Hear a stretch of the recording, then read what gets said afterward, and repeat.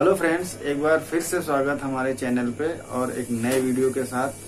तो आज हम बात करने वाले हैं कि आपका जो स्मार्टफ़ोन होता है, अगर वो रिबूट करते हैं तो आप उसका आप, उसका आपका जो फिंगरप्रिंट है, वो स्टार्टिंग में रिबूट करने के बाद तुरंत क्यों नहीं काम करता है?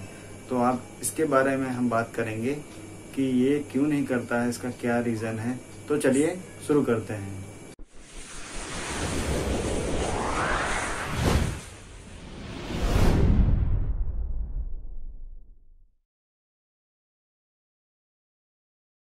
हाँ तो हम बात करने वाले हैं कि आज का जो हमारा स्मार्टफ़ोन है, अगर उसको हम रिबूट कर देते हैं तो वो उसका फिंगरप्रिंट स्कैनर क्यों नहीं काम करता है? बेसिकली क्या है कि ये फिंगरप्रिंट बायोमेट्रिक होता है और ये डेटा हमारा जो डेटा है, कई जगह होता है। जैसे कि बैंक में भी होता है आधार कार्ड में भी होता है। इन सबको सिक्योरिटी का एक तो बहुत बड़ा रीजन है। दूसरी बात ये है कि अगर आपका फ़ोन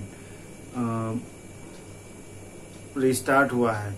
तो ये डायरेक्ट इसलिए नहीं काम करता है क्योंकि आप अगर बार बार अगर फिंगरप्रिंट से भी अगर ओपन हो जाता है तो आप उसका अपना पासवर्ड एक तो लोगों की आदत ही है कि जब से फिंगरप्रिंट आ गया है तो लोग पासवर्ड तो बिल्कुल भूल गए हैं। पासवर्ड तो उनको पता ही नहीं होता, बस फिंगरप्रिंट लगाया।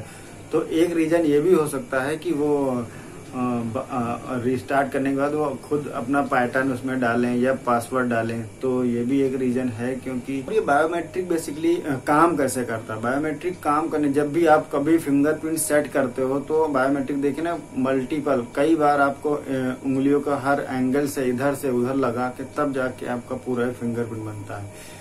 तो ये इसका काम करने का यही तरीका कि आपका पूरी फिंगर कभी आपकी नहीं, आपका थोड़ा सा भी आप लगाते हो तो वो ओपन हो जाता है। तो इसका बेसिकली काम करने का यही है।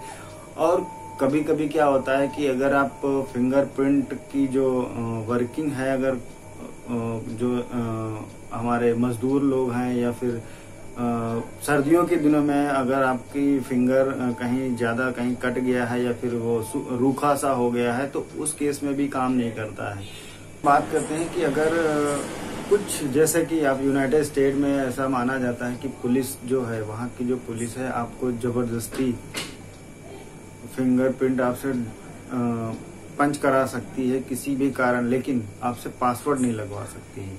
तो ये एक सबसे बड़ा कारण जो सिक्योरिटी रीजन की वजह ही हो सकती है कि सिक्योरिटी रीजन की वजह से ये ये जो कंपनियों ने डेवलप किया है कि अगर फ़ोन रिबूट होगा, ठीक है तो आपका पहले या तो आप पैटर्न से ओपन करिए या फिर आप उसमें जो लॉक डाल रखा है लॉक से ओपन करिए। दो ही आपको मिलेंगे। अब कभी भी आपको फ़ोन आपका फिंगरप्रिंट से नहीं होगा। तो आज आई होप आप लोग समझ गए होंगे कि आज जो मैंने बताया है कि कैसे फिंगरप्रिंट का वर्क होता है और ये क्यों नहीं चलता है तो आप लोगों को अगर ये अच्छा लगा तो आप कमेंट करके ज़रूर बताइए और शेयर करिए और ऐसे ही लाइक करते रहिए। तो आज के दिन इतना ही मिलते हैं फिर अगले एक नई जानकारी के साथ। दोस्तों अगर आपके पास कोई भी टॉपिक है कोई भी अगर आपके पास ऐसा आ, आपके पास कोई भी ऐसा टॉपिक है तो आप मुझे कमेंट करके ज़रूर बताइए। मैं उस पर कोशिश करूँगा कि ये वीडियो आपको बना के आपके सामने मैं देता हूँ। ठीक है दोस्तों? तो मिलते हैं नेक्स्ट एक नई जानकारी के साथ। थैंक यू दोस्तों।